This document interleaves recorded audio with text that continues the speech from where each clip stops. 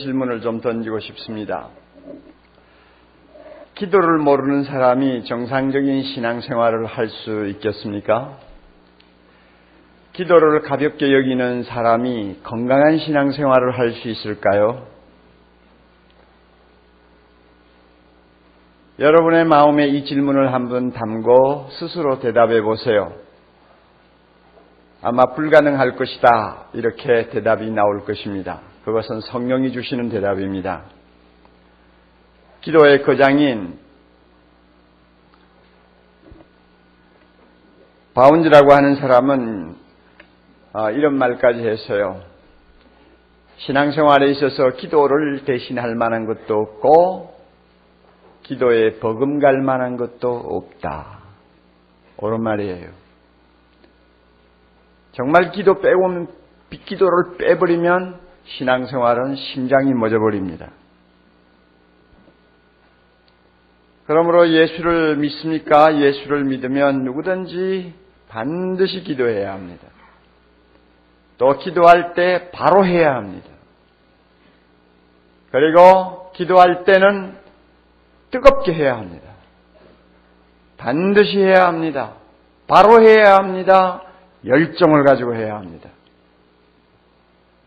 이것이 우리의 신앙생활의 진면모입니다. 예수님께서는 오늘 말씀에서 너희는 이렇게 기도하라 하시면서 유명한 주기도문, 사실은 주기도문이라고 하기보다는 제자의 기도, 제자의 기도를 가르쳐 주셨습니다. 너희는 이렇게 기도하라. 무엇을 음식, 암시한다고 생각합니까? 무엇을 경고한다고 생각합니까? 기도는 내 좋은 대로 하면 안 된다는 것이죠. 그러니까 이렇게 하라 가르치는 것입니다. 기도는 되는 대로 하면 안 된다는 것이죠. 그러니까 이렇게 하라 하고 가르치는 것입니다. 원칙을 배워야 한다는 것입니다. 기도에도 원칙이 있고 기도에도 법칙이 있어요. 그 법칙을 항상 마음에 두고 기도하는 사람이 되라는 말씀입니다. 우리는 주기도문 하면 외우는 기도로 늘 생각을 합니다. 그렇죠. 하도 많이 외우니까 주 2세기 교회에서는 음, 교인들에게 하루 세 번씩은 꼭 주기도문을 외우라고 그렇게 교회에서 가르쳤다고 합니다. 우리는 외우는 기도로 생각을 하는데 물론 외워야죠. 너무나 좋은 기도, 너무나 참 소중한 기도를 왜 안 해옵니까? 외우니까 자주 반복하지요. 우리 그렇게 합니다. 천 번, 백 번이라도 우리는 외우면서 이 기도를 해야 할 것입니다. 사랑의 교회가 시작되고 나서 아마 1, 2년 후부터 예배 시간마다 주기도문송을 부르기 시작한 것 같아요. 제가 워낙 주기도문을 참 늘 좋아하고 그 말씀을 마음에 담고 기도하는 사람이기 때문에 그러기도 합니다만은 아, 그 주기도문 성을 부를 때마다 가슴이 뜨거워져요. 벌써 20년 동안 한 주일도 빼지 않고 주기도문 성을 부르거든요. 특별히 2부, 3부 전통적인 예배를 드리는 곳에는 꼭 주기도문을 부릅니다. 그 부를 때마다 너무 가슴이 뜨거워요. 막 내 영혼이 찬양의 날개를 달고 우리 아버지 대신 하나님 앞으로 활활 날라 올라가는 것 같아요. 성령이 우리의 마음을 꽉 쥐고 은혜를 주세요. 그러니까 안 부를 수 있어요. 언제부터인가 나도 모르게 손을 번쩍 들고 부르는 버릇이 생겼어요. 대부분의 성도들은 눈 감고 부르니까 목사가 손을 들었는지 내렸는지 모르겠죠. 그러나 저는 반짝 들고 기도해요. 열 번이고 스무 번이고 부르고 싶어요. 저와 같이 주기도문 찬양을 할 때마다 그 영혼이 하나님을 향해서 달려가는 거룩한 백성들이 그래서 자기도 모르게 손을 번쩍 들고 기도하, 찬양, 찬양하는 그런 성도들이 많이 생겼으면 좋겠어요. 우리 교회 처음 들어와서 주기도문 성을 부르는 걸 들으면서 너무나 진한 감동을 받았다는 간증을 하는 분들이 많아요. 외워야죠. 외우고 열 번이고 백 번이고 반복해야죠. 그게 나쁜 것이 아닙니다. 그러나 꼭 기억하세요. 주기도문은 외우라고 주신 기도가 아니에요. 오히려 외우라고 주신 기도라기보다는 기도의 지침을 가르쳐 주기 위해서 주신 것입니다. 기도의 권력을 우리에게 보여주시려고 주님이 가르쳐 주셨어요. 그러므로 우리는 주기도문을 가지고 기도의 원칙을 파악을 합니다. 아, 기도라는 것은 이렇게 하는 것이구나 하는 원칙을 우리가 배우게 돼요. 그리고 그 원칙을 중심으로 해서 다양한 기도를 하게 됩니다. 내가 원하는 모든 기도를 하게 됩니다. 원칙만 어그러지지 아니하면 되거든요. 이 원칙을 주기도문이 가르쳐 주고 있어요. 우리가 주기도문을 살펴보면 기도가 쉽지 않다는 생각을 하게 됩니다. 그리고 잘못된 기도도 할 확률이 참 많다는 것도 우리가 생각을 하게 됩니다. 어린애가 배고프면 보채듯이 하는 기도, 그런 기도는 아무나 할 수 있잖아요. 불나면 119 다이얼 돌리듯이 하는 기도, 그 기도는 누구나 해요. 안 믿는 사람까지도 하늘을 향해서 급하면 손 비비고 하는 기도 누구나 다 할 수 있어요. 예수를 믿고 나서도 믿음이 약할 때는 하나님이 그런 좀 유치한 기도해도 별로 상관하지 않으시는 것 같습니다. 그러나 주님은 지금 자기를 따르고 자기를 담고 자기를 위해 생명을 바칠, 바치기를 소원하는 제자들을 가르치는 기도입니다. 적어도 제자들의 수준에 이르는 기도를 하려면 항상 그렇게 유치하게 기도하는 자리에 머물러 있으면 안 돼요.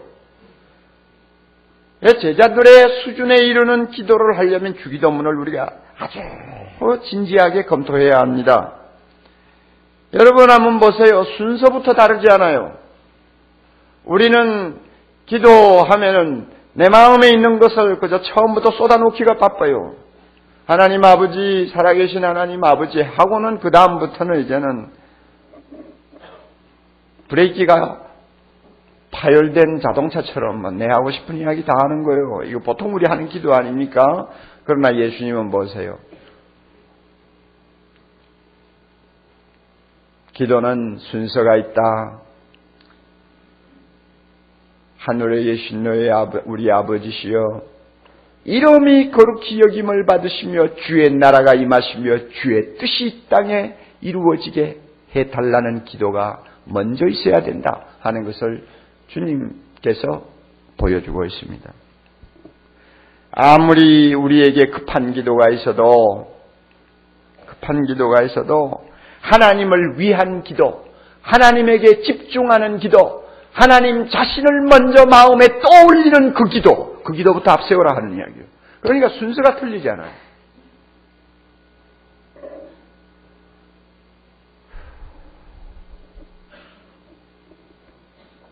주님이 가르쳐 주시는 대로 기도할 때 비로소 우리는 아버지여 내 뜻대로 마옵시고 아버지의 뜻대로 아옵소서 하는 예수님의 모습을 닮은 제자다운 사람이 됩니다. 그리고 여러분 그 뒤로 따라 나오는 기도 한번 보세요. 별로 호감이 안 가는 기도들입니다. 오늘날 우리에게 일용할 양식을 주옵시고 여러분 가운데 일용할 양식으로 만족할 만한 사람이 몇 명이나 되세요? 한번 손 좀 들어보세요. 일용할 양식이 뭐예요? 그날 먹고 마시고 끝나는 것이 일용할 양식이요. 꼭 이스라엘 백성이 강야에서 아침에 나가 만나를 거두어 와가지고 하루 종일 그저 그것 가지고 빻고 찧어서 빵도 구워 먹고 그저 뭐 여러 가지 자기가 하고 싶은 요리를 해서 먹고 저녁 되면은 없어져요. 만약에 아까워서 두면 벌레 먹어 못 써요. 그래서 그 다음날 아침에 또 나가서 들판을 헤매면서 만나를 거두어야 돼요. 이게 일용할 양식이란 말이요. 여러분 우리 가운데서 기도할 때 주여 일용할 양식만 주옵소서. 그런 기도하면서 만족할 사람이 우리 중에 몇 명이나 돼요. 대부분이 보면은 오고 하나님 아버지 내 하는 일에 축복하옵소서 하늘의 복도 주시고 땅의 복도 주시고 떡반죽에 막 복이 넘치게 해주시고 주여 주여 이것도 주시고 저것도 주시고 뭐 나도 모르게 막 내 놓지 않아요. 막 내 놓는단 말이에요. 그런데 예수님이 가르쳐 주신 기도에 비하면 이거는 잘못된 거예요. 욕심이 너무 많이 차 있는 기도요. 주님은 그런 기도하면 안 된다고 하는 거예요. 그러니 이 주기도문이 우리에게 주는 교훈이 굉장히 무서운 교훈입니다. 여러분 우리가 기도할 때에 하나님 앞에 내가 용서받기 위해서 나에게 잘못한 다른 사람의 죄를 먼저 용서하려고 노력합니까? 주기도문에 그렇게 나오잖아요. 오늘날 우리에게 잘못한 자의 어, 오늘날 뭡니까? 우리에게 일용할 양식 주옵시고 우리가 우리에게 죄 지은 자를 내가 먼저 용서하오니 나의 죄를 용서해 주옵소서. 우리 그렇게 주님이 기도하라고 하시거든요. 그러나 우리가 하나님 앞에 용서받기 위해서 내가 먼저 용서합니까? 저도 잘 못하잖아요. 그런데 주님은 뭐라고 그래요? 네가 용서받기 원하면 먼저 용서해라. 이것입니다. 이 원칙대로 우리는 잘 안 해요. 그리고 여러분 또 보세요. 우리는 하나님 앞에 기도할 때마다 하나님 요즘에는 참 자동차 타고 다니기 무섭습니다. 술 먹은 운전자가 너무 많아요. 마약에 마, 어, 마약 마약에 빠져가지고 환각 증세를 일으키면서 운전하는 사람 너무 많아요. 하나님 꼭 지켜주셔야 되겠어요. 우리 이런 기도합니다. 해야죠. 그리고 주님, 이 젊은 나이에 병들어 죽는 사람도 가끔 보는데 주님 제발 병 좀 들지 않게 해주세요. 건강하게 해주세요. 우리 기도합니다. 당연히 기도해야죠. 그러나 예수님은 그런 기도보다도 다른 기도를 말씀하네요.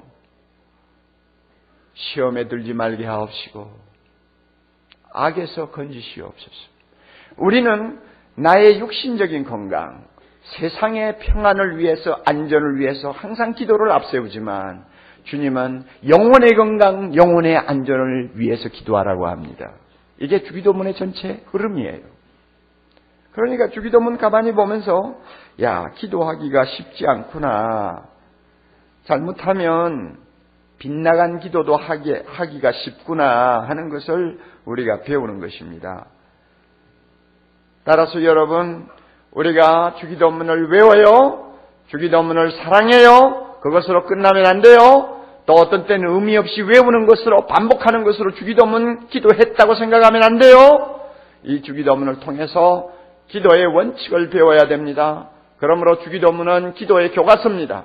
이 교과서를 우리가 잘 배우고 깨닫고 마음에 담음으로 그 기도를 중심으로 해서 날마다 다양한 기도, 짧은 기도, 긴 기도, 개인의 기도, 중보 기도, 다양한 기도를 하나님 앞에 올릴 수 있는 것입니다. 우리 모두가 이와 같은 기도의 용사들이 될 수 있기를 바랍니다. 하나님이 기뻐하는 기도 드리는 그리스도의 제자다운 사람들이 되기를 바랍니다. 한 두 가지 생각합시다. 첫째로요. 예수님은 기도를 하나님 아버지께 드리는 것이라고 가르쳐 주십니다. 아버지께 드리는 기도래요. 하늘에 계신 우리 아버지요. 어느 학자의 견해를 보면 예수님이 세상에 오실 때까지 유대 나라에서는 아무도 하나님을 아버지라고 부른 사람이 없대요. 남아있는 전해 내려오는 모든 문서를 다 뒤지고 연구를 해도 하나님을 개인적으로 아버지라고 부른 사례가 없대요. 만약에 그렇게 하나님을 아버지라고 부른다면 그것은 신성 모독죄로 다루어지기 때문에 엄두도 못 내는 일이죠. 그런데 예수님이 세상에 오시자마자 처음부터 항상 아버지요. 하나님을 아버지라고 그래요. 아버지는 내 안에 있고 나는 아버지 안에 있느니라. 요한복음을 보면 예수님이 하나님을 120번 이상 아버지라고 불러요. 아버지, 아버지, 아버지. 그리고 이 아버지는 우리가 흔히 뭐 격식을 갖추어 가지고 부르는 호칭하고도 달라요. 아버님 아니요. 아빠. 아빠. 그래서 아버, 아버지라고 그러잖아요. 어린아이가 자기 아빠가 너무 좋아 가지고 막 격식 없이 부르는 그런 이름이에요. 이런 이름을 우리 주님께서 부르시면서 특별히 기도할 때에는 하나님 앞에 어린애처럼 아버지라고 부르며 기도하셨습니다. 그리고는 우리를 보고 너희도 그렇게 기도하라 하시는 거예요. 너희도 하나님을 아버지라고 부르고 기도해라.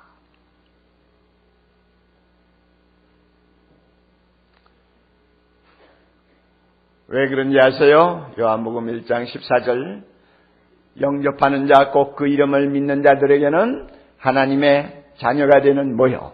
권세를 주셨으니 하나님 아버지를 하나님을 아버지하고 마음대로 부를 수 있는 권세를 예수님 때문에 우리가 얻었어요.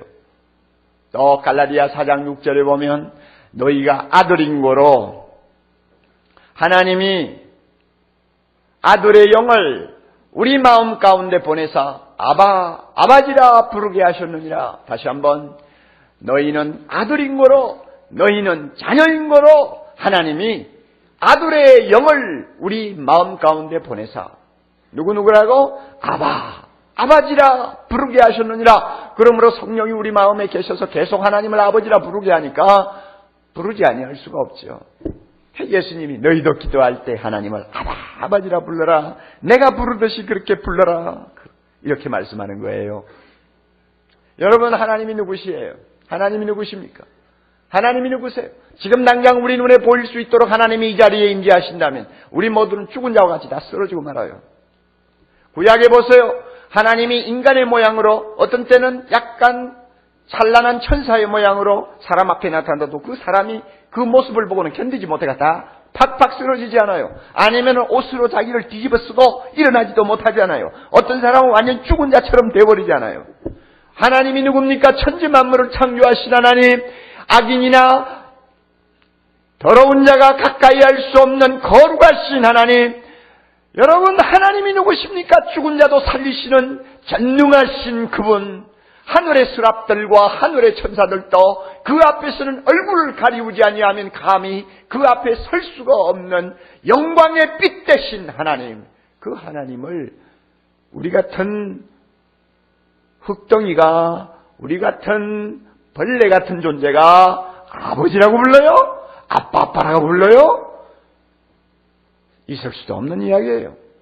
그럼에도 불구하고 주님은 우리에게 그렇게 부르라고 그럽니다. 누구 때문에? 예수님 때문에 부르라고 그럽니다. 얼마나 큰 권세입니까? 얼마나 큰 영광입니까? 그래서 어떤 사람이 그랬어요. 주기도문 제일 앞에 나오는 하늘에 계신 우리 아버지여 이것은 기도의 황금문이다 그랬습니다. 기도의 황금문이요. 하늘에 계신 우리 아버지 하고 부를 때 벌써 우리는 기도의 황금문을 마차 타고 들어가는 거예요. 그리고 하나님의 은혜의 보좌 앞으로 당당히 가서 아버지 하면 하나님이 오냐 하고 대답하시는 거예요. 기도가 잘 안 나와가지고 머뭇머뭇거리면 그래 괜찮다 천천히 마음 놓고 해라. 우리 하나님 그런 분이에요.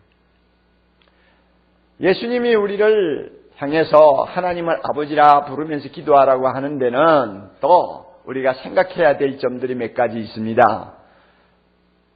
우선 뭐냐 하면요. 하나님은 좋은 것만 골라서 우리에게 주시는 분이라는 의미를 담고 있습니다. 여러분, 그 마태복음 7장 참 기가 막힌 말씀 있잖아요. 7장 넘어가면 9절부터인가요? 얼마나 좋아요. 이 말씀 읽을 때마다 얼마나 우리 마음이 평안해지고 기쁨이 넘쳐요. 너무 좋아서 저는 다 외우는데 여러분 외우시는지 모르죠. 그러나 여러분도 외우세요. 몇 절이라고 그랬어요? 9절요. 너희 중에 누가 아들이 떡을 달라 하면 돌을 주겠느냐? 그렇죠? 너희 중에 누가 생선을 달라 하면은 뱀을 줄 사람이 있겠느냐? 요 사이는 뱀을 줄 거예요. 보신탕이 하도 좋으니까. 그러나 우리가 상식으로 따지면 있을 수가 없죠. 아무리 악한 아버지라도 자식이 생선 달라는데 뱀 줄 리가 없죠. 자, 그 다음에 중요한 말씀이요. 11절. 너희가 악한 인간 아니냐? 악한 아버지 아니냐? 급하면 자식도 버리는 악한 자가 아니냐? 급하면 자식도 죽이는 악한 인간이 아니냐? 그럼에도 불구하고 좋은 것으로 자식에게 줄줄 줄 알거든. 그 다음에 다 같이 하물며 하늘에 계신 너희 아버지께서 구하는 자에게 좋은 것으로 주시지 않겠느냐. 하나님을 왜 아버지라고 부르라고 그러는지 알아요? 아버지는 항상 좋은 것 주시는 분이기 때문에 그렇습니다. 저는 그렇게 믿어요. 심지어 1년 기도하고 3년 기도하고 5년 기도해도 하나님이 응답 안 하시는 것도 많아요. 그럴 때마다 생각해요. 우리 하나님은 좋은 것만 주셔. 그러기 때문에 응답 안 하시는 것도 좋은 대답 중에 하나야. 좋으니까. 좋은 대답으로 응답으로 아시기 때문에 안 주시는 거야.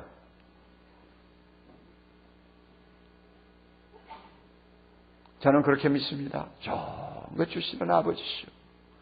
그러므로요, 여러분요, 우리가 기도할 때 하나님, 아버지, 아버지 하고 기도하면요, 아무것도 받는 것 없어도 마음이 편안해져요. 왜? 하나님이 좋은 것 반드시 주신다고 믿기 때문입니다. 이거 기가 막힌 거 아니에요. 그리고 하나님을 아버지라고 부르라고 하시는 데는 또 우리가 생각해야 될 거 있어요. 기도하는 자는 어린아이의 심정을 가져야 된다는 것입니다. 어린아이는 의심하지 않아요. 가식이 없어요. 사람을 떠보지 않아요. 이론이 많지 않아요. 어린아이는 아빠한테 뭐 달라고 하면 단순해요, 순수해요, 신뢰해요. 그래서 아빠가 빈 것이 웃기만 해도 이미 아빠는 주실 줄 알고 막 좋아가지고 펄펄 뛰어요. 이게 어린애의 심정이에요.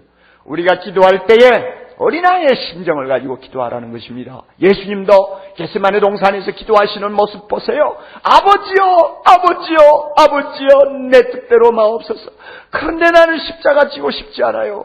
할 수 있으면 지지 않도록 해주세요. 이 어린애 기도 아닙니까? 할 수 있으면 지지 않도록 해주세요. 그렇지만 하나님 꼭 져야 된다면 지겠습니다. 아버지 뜻대로 하옵소서. 어린아이와 같이 예수님은 통곡하면서 기도했다고 했습니다.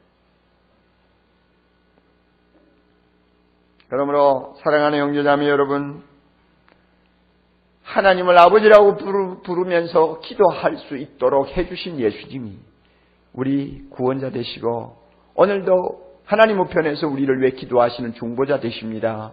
이 놀라운 권세를 가지고 있으면서 기도하는 권세 특권을 장롱 속에 집어넣어 자물통을 잠가놓고 한 주일에 한 번 정도 기도할까 말까 한 달에 한 번 정도 꺼내볼까 말까 하는 그런 어리석은 생활을 하지 마세요.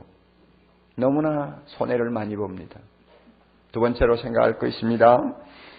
기도는 어떻게 해야 하느냐 예수님이 가르쳐 주시네요. 하나님의 이름, 하나님의 나라, 하나님의 뜻을 항상 먼저 앞세우는 기도를 하라고 합니다. 하나님의 이름이 거룩히 여김을 받으시오며 무슨 뜻입니까? 오 하나님이여 하나님이 하나님으로서의 받으실 영광과 존귀와 거룩함을 홀로 받으시기를 원합니다 하는 뜻입니다. 하나님은 하나님으로서의 대우를 받아야 됩니다. 하나님의 이름은 절대로 모욕당해서는 안 됩니다. 하나님의 이름은 절대 사람들에게 무시당해서도 안 됩니다. 모든 종기와 찬양과 경배가 그 거룩하신 이름에 올려져야 됩니다. 여러분 세상을 보세요. 여기저기에서 얼마나 하나님의 이름을 짓밟는 악한 자들이 많아요. 거룩하신 하나님을 얼마나 모욕하고 멸시하는 사람들이 많아요. 이런 사람들을 볼 때마다 우리의 가슴이 답답해지고 우리의 가슴이 찢어지지 않아요. 하나님의 이름은 종기 여김을 받아야 되는데 사람들로부터 짓밟히고 모욕당하는 것을 보고 우리가 눈을 감을 때마다 무슨 기도해야 합니까? 하나님 부디 주의 이름이 높임을 받으시고 거룩히 여김을 받으시기를 원합니다. 하다 못하면 나 하나만을 통해서라도 하나님의 이름이 종기 여김을 받기를 원합니다. 이런 기도가 우리 마음에서 나와야 되잖아요. 이것만큼 소중한 기도가 어디 있습니까? 최근에 7.9도라는 엄청난 힘을 가진 강진이 일어나서 수십만 명의 사상자를 내고 50억 불 이상의 재산 피해를 입은 인도의 비참한 비극을 우리가 잘 듣고 있습니다. 인도 구자라트주, 구자라트 자치주, 지진의 진원지입니다.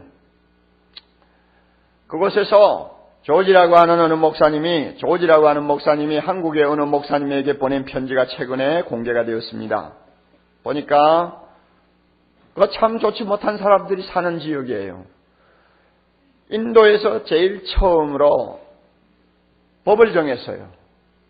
누구든지 기독교로 개종하면 안 된다. 기독교로 개종하면 축출을 당하든지 처형을 받든지 재산을 몰수당하든지 어쨌든 벌을 받게 돼 있어요. 종교의 자유를 완전히 억압해 버린 것입니다. 최초로 인도에서 구자라트 주가 그런 법을 정했대요. 그리고는 작년 한 해 동안 교회 500곳을 파괴했답니다. 500곳을 전부 다 문을 닫아버리게 만들고 부수었어요. 그리고 지진이 일어나기 2주 전에는 교회를 약탈하고 교회 안에다가 힌두교 우상을 갖다 세우면서 하나님을 못 오겠어요.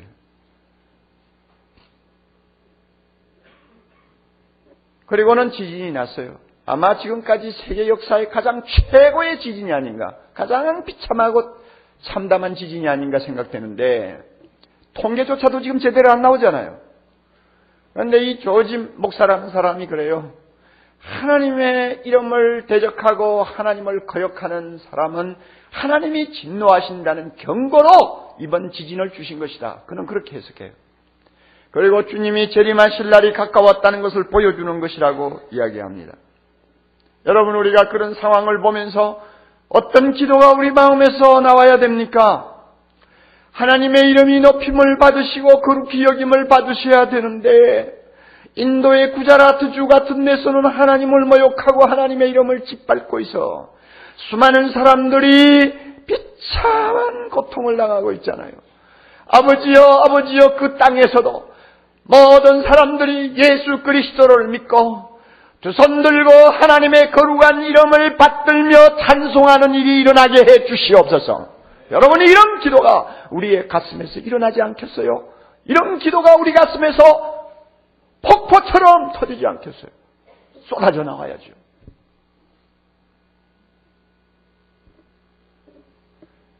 하나님의 나라가 임하고 주의 뜻이 이루어지기를 기도하라고 했습니다. 그 기도를 앞세우라고 그랬어요. 주기도문의 주제는 하나님의 나라입니다. 예수님은 세상에 오셔서 첫 마디가 천국이 가까웠느니라 하나님의 나라가 가까웠느니라 하는 것이었습니다. 그리고 일생 동안 하나님 나라가 이 땅에 임하여 예수 그리스도가 그 마음을 다스리는 거룩한 백성들이 이 땅을 가득히 메우기를 소망하면서 예수님은 그 일을 위하여 십자가에 죽으셨고 부활하셨습니다. 그리고 부활하신 후 제자들과 40일 동안 만나 예수님의 비전을 나눌 때도 그 비전의 주제는 하나님의 나라였습니다. 이만큼 하나님의 나라가 이 땅에 임하고 그 뜻이 이루어지는 것. 이것은 예수님이 마음에 평생 간직하던 비전이요. 오늘도 하나님 나라에서 그가 기도하고 있는 제목이라고 저는 생각합니다.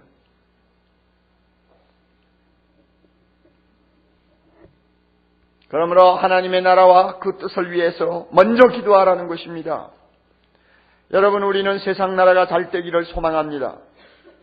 왜? 우리가 살고 있으니까요. 세계 평화를 위하여 우리는 밤낮 없이 기도해야 합니다. 우리의 후손들이, 우리의 젊은이들이 마음 놓고 뛸 수 있는 나라가 되기 위하여 우리는 기도해야 합니다. 이 세상의 악과 이 세상의 불의를 향하여 담대히 대적하면서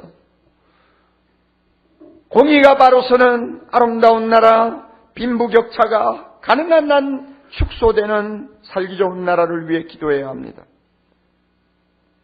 하나님이 기도하지 말라고 해도 우리는 기도해야 합니다. 왜? 우리는 몇십 년은 이 세상에서 살아야 되기 때문에 그리고 우리의 후손들이 계속 살아야 되기 때문에 이 세상을 위해 기도해야 합니다. 그러나 여러분 중요한 거 있습니다. 뭐냐? 세상 기도보다도 앞세워야 되는 기도가 있다는 것입니다.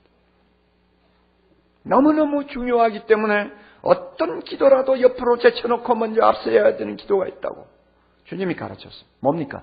하나님의 나라가 이 땅에 임하는 거예요. 그래서 주의 뜻이 이루어지는 것입니다. 그 결과 나라와 권세와 영광이 하나님께 돌아가게 하는 것입니다. 이 기도를 먼저 하라는 거예요.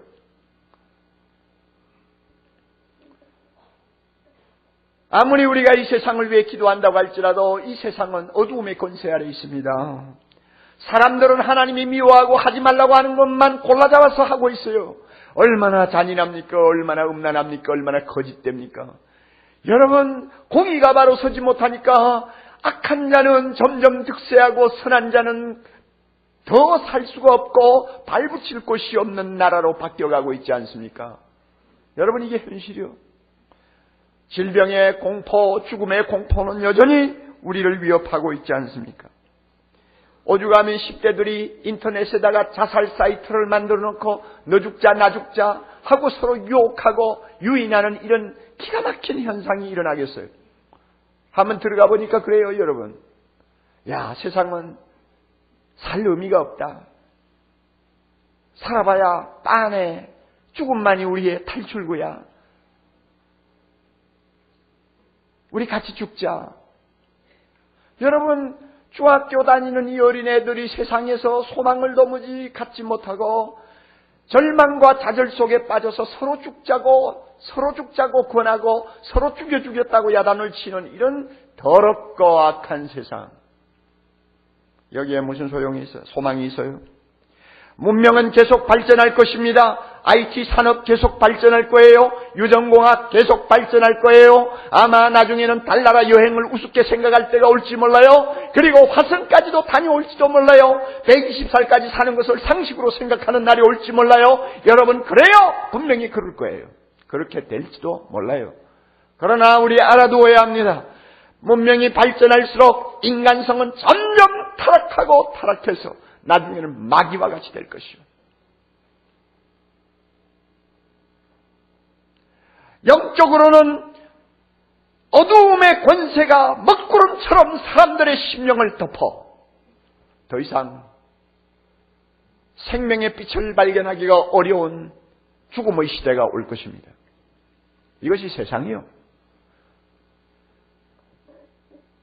내셔널 지오그래픽 2월호 한국판을 펴보았더니 몇 장 넘기지 않았는데 이런 말이 나오대요. 지구 온난화 현상으로 해수면이 높아지면서 인류는 위기를 맞고 있다. 하도 듣는 소리가 돼서 이제는 감동도 없어요. 놀래지도 않아요. 뭐 그렇잖아. 전화 열어보지나 될 대로 되라 한 번씩이죠. 예, 우리가 그렇게 다 넘기고 막, 막, 막 그때가 되면 그때고 뭐 보기만 하가 내 죽은 다음에 그렇게 되면 다행이고 뭐, 뭐 이런 식이죠. 그런데 조금 밑을 읽어보니까 이런 말이 있어요. 지난 100년 사이에 이 바다의 수면이 어느 정도 높아졌느냐? 100년 사이에 15cm가 높아졌대요. 전문가가 아닌 우리는 그래 15cm 높아졌으면 어때? 파도만 치면 2m도 높아지는데. 예, 우리는 그렇게 생각할 수 있잖아요. 현재 15cm가 높아졌는데 그것은 100년 이전에 2000년 동안 바다 수면이 높아진 것의 10배래요. 그러니까 이게 대단한 거예요. 2000년 동안 바다 수면이 높아진 것 10배가 지난 100년 사이에 높아진 거예요. 결국은 어떤 일이 우리 앞에 일어날 것이냐? 홍수가 일어납니다. 심시계 현상이 세계 도처에서 일어납니다. 식수가 오염되어 버립니다. 농지가 유실됩니다. 생태계가 파괴되고 많은 인구들이 육지로 산 위로 이주하는 놀라운 일들이 일어난다는 것입니다. 그리고 앞으로 15년 이내에 전 세계 반, 전 세계 인구의 반 이상이 물 부족으로 인해서 엄청난 고통을 당하게 된다는 것입니다. 그리고 수면이 높아지면 점점 점점 해안선이 넓어지면서 육지가 계속 좁아지지 않아요. 이것을 막고 미국이 지금의 해안선을 유지하기 위해서 방파제를 쌓는다면 아무리 안 들어도 2,500억 불, 2,500억 불 이상의 돈이 들어간다는 것입니다. 그러니까 나라 경제가 완전히 파탄이 된다는 이야기죠. 그런 날이 눈앞에 다가오고 있대요. 우리 예수님은 이미 지구의 종말, 역사의 종말을 예언하셨습니다. 그러므로 우리에게 말합니다. 너희들 기도할 때 아무 대안도 되지 않는 세상 나라를 앞세워 가지고 먼저 기도하지 말고 하나님의 나라가 이 땅에 임하기를 위하여 기도하라. 그 말입니다. 베드로가 말한 것처럼 하나님의 날이 임하기를 바라고 간절히 사모하라는 말입니다. 여러분, 우리가 어찌 이 나라를 위하여 기도하지 않겠습니까? 세상 나라는 대안이 아닙니다. 우리가 세상 나라를 기대했다가는 남는 것이 하나도 없어요. 그러므로 하나님의 나라가 임하기를 어찌 기도하지 않겠습니까?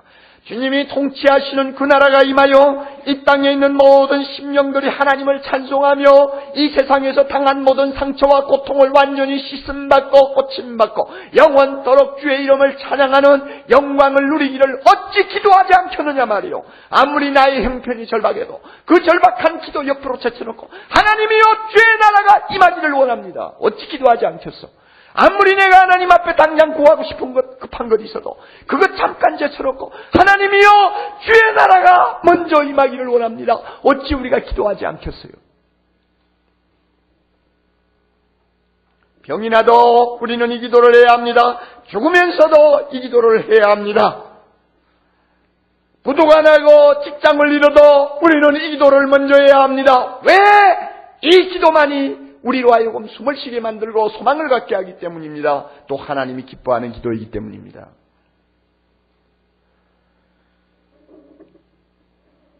한 주 전에 귀한 자매가 세상을 떠났습니다. 유방암으로 한 3, 4년 고생하다가 세상 떠났어요. 30대 후반에 참 아름다운 자매요. 자녀를 셋이나 놓고 주님의 부름을 받았어요. 아마 지금은 천국에 가서 날아다니고 있을 거예요. 와, 얼마나 좋을까? 얼마나 좋을까? 눈만 감으면 그 자매가 날아다니면서 찬송하는 모습이 내 눈에 확 들어와요. 그 자매는 그 남편이 저의 비서로서 이 설교, 설교를 돕는 비서로서 지난 10년 동안 일한 사람이 그의 남편입니다. 그러므로 제가 특별히 마음에 두고 기도해주고 지금까지 왔는데 그만 하나님이 데려가셨어요. 그가 세상 떠나기 직전에 저에게 보낸 편지를 세상 떠난 다음에 제가 받았어요. 이런 내용이 있네요. 사랑하는 목사님께 수술 후 1년 반 만에 재발한, 재발한 것을 알았을 때 하나님께서는 이것이 저 자신과 저희 가정의 회복이 되고 좋은 일이 될 것이라는 성령의 음성을 들려주셨습니다. 저를 구원하신 주를 위해 이 생명을 다해 섬기고 어떻게 하면 주를 더욱 사랑할 수 있을까요? 다 죽어가는 마당에 이런 소리가 어떻게 나옵니까? 그 다음에 더, 더 놀라운 말이 있어요. 보세요. 목사님, 이제 제 힘으로 버틸 수 없는 한계에 와 있습니다. 목사님, 제가 너무 고통스러워 믿음이 약해지지 않도록 기도해 주세요. 목사님, 기쁨을 빼앗기지 않도록 기도해 주세요. 기쁨을 빼앗기지 않도록 기도해 주세요. 그리고 또, 목사님, 예수 그리스도의 승리가 선포되며, 예수 그리스도의 승리가 선포되며, 하나님만이 영광 받으시도록 계속 기도해 주세요. 바로 이 기도들이 무슨 기도인지 아세요? 하나님의 이름이 높임을 받으시며 나라가 임하시며 주의 뜻이 이루어져 나라와 건세와 영광이 아버지께 돌아가기를 원합니다 하는 주기도문의 정신, 주기도문의 원칙이 바로 그 자리, 그, 그 고스란히 들어있는 기도입니다. 죽어가는 마당에 아무것도 먹지 못하고 숨도 제대로 쉬지 못하는 너무나 고통스러운 상황에서도 연필을 겨우 들고 목사님 예수 그리스도의 승리가 선포되기를 기도해 주세요. 하나님만이 영광 받으시도록 기도해 주세요. 내 비록 죽어갑니다마는 이 죽음도 하나님의 나라가 임하는 일을 위해서 썩는 미랄 되기를 바라고 내가 죽는 이 자체가 하나님의 나라와 그 뜻을 이 땅에 성취하는 데 쓰임만 죽음이 되게 해주세요. 이것을 위해 기도해 주세요. 죽어가는 자도 이렇게 기도하는데 오늘 건강하고 멀쩡한 우리가 날마다 내 기도만 해요. 세상 기도만 해요. 내 편할 기도만 해요. 내 급한 기도만 해요. 그래서는 안 되죠. 우리의 가슴 속에 하나님의 이름, 하나님의 나라, 하나님의 뜻을 위한 기도가 부글부글 끓어야 돼요. 헨리 비처라고 하는 미국의 유명한 설교자가 있었어요. 그 사람이 이런 말을 했습니다. 나는 기도할 때, 나는 기도할 때는 포도주가 병마기를 밀어내듯이 기도한다 그랬어요. 여러분, 우리 술 먹어요, 안 먹어요? 잘 안 먹잖아요, 그죠? 그런데 이제, 그래도 좀 알잖아요, 그렇죠? 예, 좀 알잖아요. 근데, 그 술을 옛날에 병에다 담아놓고, 마개를 꽉, 그, 막아놓으면, 나중에 발효가 덜 된 술은 막 발효가 돼가지고 이 뻐쿰이 올라오고 그래요. 그래가지고 나중에는 그 가스가 병마개를 확 밀어버리고 확 터져요. 나는 그런 식으로 기도한다 그 이야기입니다. 그건 멋있는 말인 것 같아요. 하나님의 이름이 거룩히 여김을 받으시고자 하는 열정이 내 가슴에 가득하게 차면 주님의 나라 주님의 뜻이 이루어지기를 간절히 소원하는 열정이 내 마음에 가득하면 그게 그냥 부글부글 끓다가 뭐 탈출구가 있어야 될 거 아니에요. 그래가지고 목을 밀고 나오는 거예요. 그래서 나중에는 그 기도 먼저 안 하면 못 견디는 사람이 됩니다. 아침에 직장 갈 때도 하나님, 오늘도 나는 똑같은 직장 생활입니다마는 나의 직장 생활을 통해서 주님의 이름이 높임을 받게 하옵소서 주여. 이런 기도하라 그 말이에요. 가정에서 똑같은 가정생활 그저 평범하게 하지만 아이들 디스발하고 얼마나 힘듭니까? 그러나 하나님 아버지 어떤 때는 지루하고 답답하기도 하지만 그러나 이 어린 자녀 키움으로 인해서 주님의 나라가 이 땅에 임할 수 있도록 한다면 얼마나 좋겠습니까? 그와 같은 놀라운 일이 있게 해 주옵소서. 그런 기도 하라 그 말입니다. 하나님 내가 왜 부도가 납니까? 왜 내가 내 사업이 이렇게 무너집니까? 하나님 무슨 뜻이 있습니까? 그러나 분명히 믿습니다. 이 일을 통해서 하나님은 거룩히 여김을 받을 것이고 주의 나라가 이 땅에 임할 줄 믿습니다. 주님, 그 일을 위해서 나의 실패도 사용해 주시옵소서. 그렇게 기도하면서 하나님 앞에 나가라는 그 말입니다. 아시겠어요?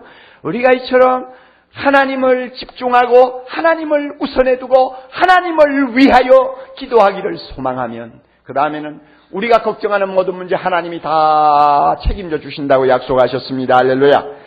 6장 33절 우리가 읽고 끝냅니다. 우리가 하나님을 먼저 앞세우고 하나님의 일을 생각하고 그 일을 우선순위에 두고 날마다 뜨겁게 기도하면 하나님이 너무 기뻐하셔서 우리가 걱정할 문제 다 책임져 주신대요. 다 같이 33절 읽습니다.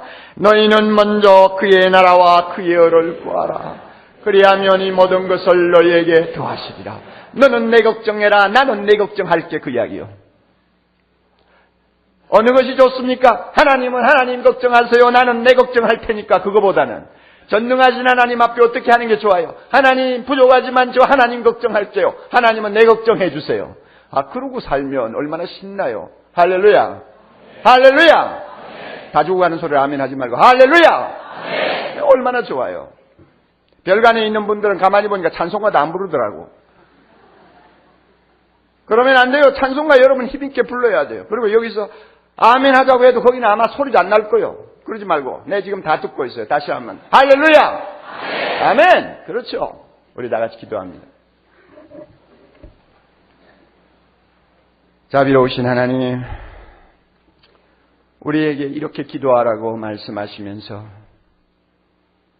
하나님을 아버지라 부르며 하나님의 나라가 이 땅에 임하고 하나님의 이름이 종기 여김을 받으며 하나님의 뜻이 이루어지기를 먼저 아래고 소원하라고 가르쳐 주신 주님의 말씀.